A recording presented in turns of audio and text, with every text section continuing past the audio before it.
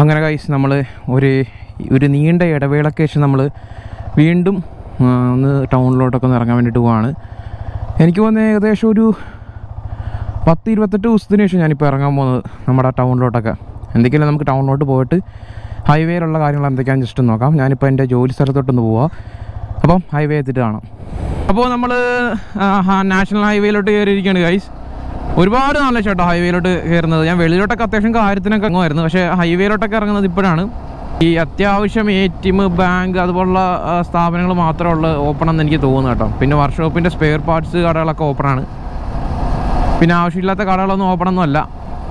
ആവശ്യമില്ലാത്തതെന്നല്ല ഇപ്പം നിലവിൽ ആവശ്യമില്ലാത്ത കടകളൊന്നും ഇപ്പം നിലവിലില്ല. എന്തൊക്കെയാലും നല്ലൊരു ഫീലുണ്ട് കുറേ നാളിന് ശേഷം നല്ലൊരു വെട്ടം കണ്ടപ്പം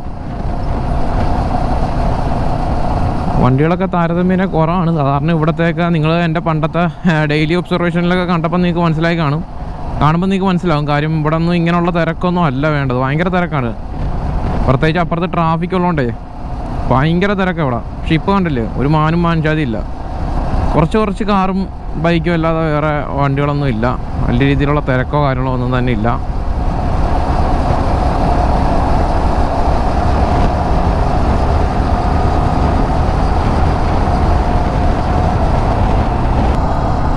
അപ്പോൾ നമ്മൾ ആ അയ്യോ പോലീസ് ഇറക്കുന്നു കുഴപ്പമില്ല എന്നാലും. നമ്മൾ സത്യവാങ്മൂലമൊക്കെ ഉണ്ട് കയ്യിൽ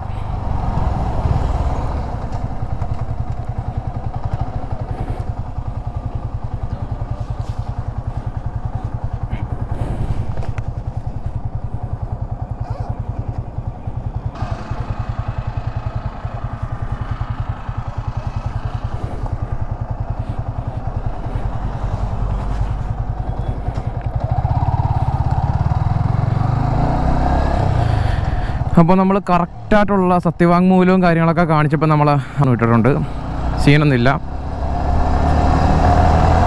അപ്പം ഇതുപോലെ എല്ലാവരും നല്ല രീതിയിൽ സഹകരിക്കുകയാണെന്നുണ്ടെങ്കിൽ തീർച്ചയായിട്ടും ഇപ്പം കിട്ടിയ റിസൾട്ടിനെക്കാട്ടിലും നല്ലൊരു റിസൾട്ട് നമുക്ക് ഇനി നല്ല തീർച്ചയായിട്ടും കിട്ടുന്നതായിരിക്കും. ഇപ്പം എന്റെ ഒരു വിശ്വാസം കേരളം കേരളത്തിൽ അത്യാവശ്യം അതിജീവിച്ചു കൊണ്ടിരിക്കുകയാണെന്നാണ് എന്റെ ഒരു വിശ്വാസം. ഒരു മനുഷ്യനില്ല കേട്ടോ. ഈ സമയത്ത് അവിടെ ചെല്ലാൻ അവിടെ ഒരുപാട് ലേറ്റായി. ഇപ്പൊ തന്നെ.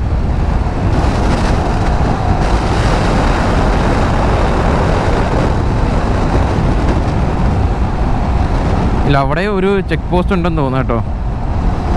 അവിടെയും കുറച്ച് പോലീസുകാരൊക്കെ നിപ്പുണ്ട്. അതിനും കുഴപ്പമില്ല. നമ്മളവിടെ കാണിച്ചതുപോലെ കാണിച്ചിട്ട് അങ്ങ് പോകാനുള്ള പ്ലാനാണ് അതിനും കുഴപ്പമില്ല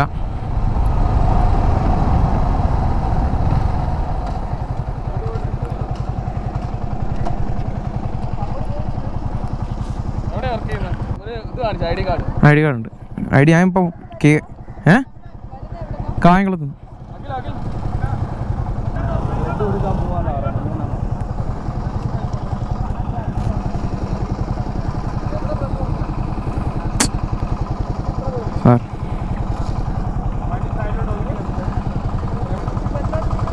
ഇവിടെ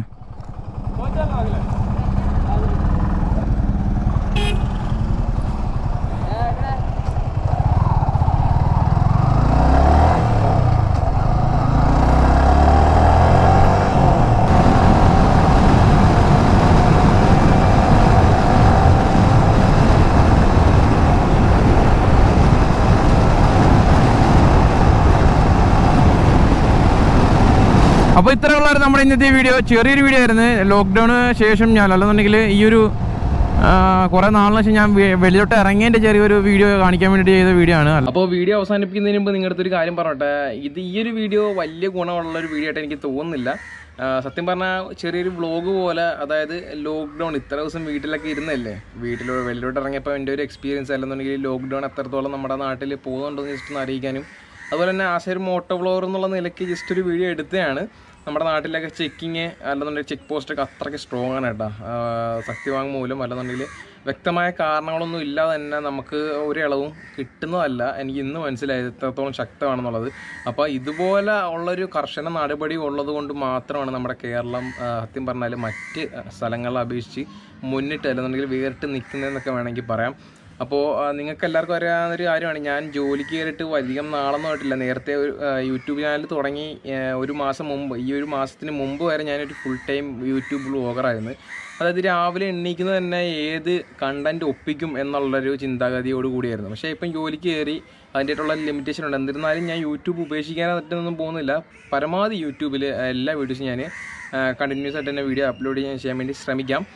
അപ്പോൾ എന്താ പറയണ്ടേ ഞാൻ എന്റെ ഐശ്വര്യം കൊണ്ടാണോ അല്ലെന്നുണ്ടെങ്കിൽ എന്തുകൊണ്ടാണെന്ന് എനിക്കറിയത്തില്ല. ജോലി കയറി ഒരാഴ്ച മാത്രമേ ജോലി ചെയ്തിട്ടുള്ളൂ. ബാക്കി എല്ലാ ദിവസവും ബാക്കി പിന്നെ ദിവസങ്ങളെല്ലാം ലോക്ക്ഡൗൺ ആയിരുന്നു.